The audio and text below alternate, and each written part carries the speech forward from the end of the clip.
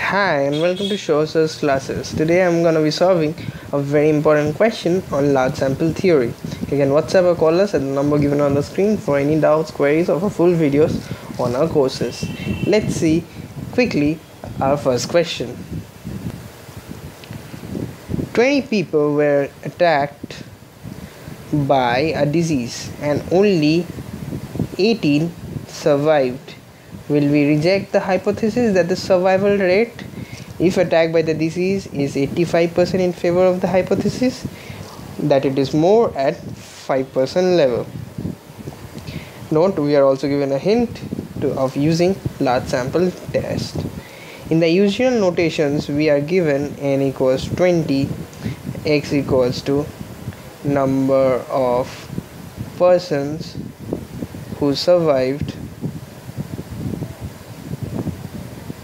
which is equals to 18 and P is equals to proportion of persons survived.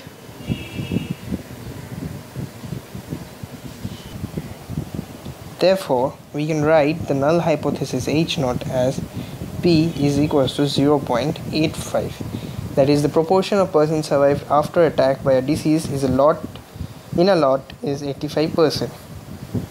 Let us define the alternative hypothesis that P is greater than 0.85. Note this is a right tailed I'm sorry tailed alternative.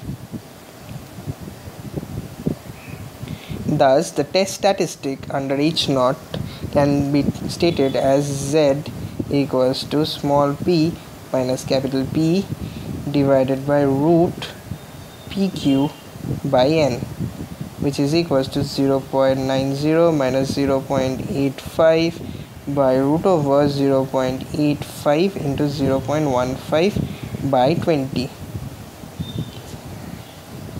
which is equals to 0.05 divided by 0.079 and upon calculation I'll write this 0.633 thus the conclusion is that since the alternative hypothesis is one-sided right-tailed we shall apply right-tailed test for testing significance of z. The significant value of z at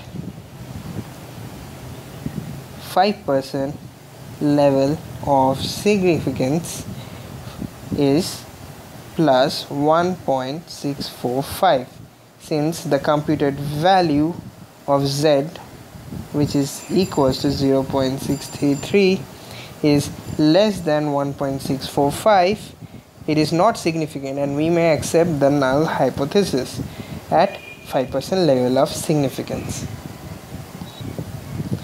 Hence, with this, we come to an end of another great question. Please like, subscribe, and click on the notification icon. You can call us or WhatsApp us at the number given on the screen for any doubts, queries, or for full videos on our courses. Thank you and have a pleasant day.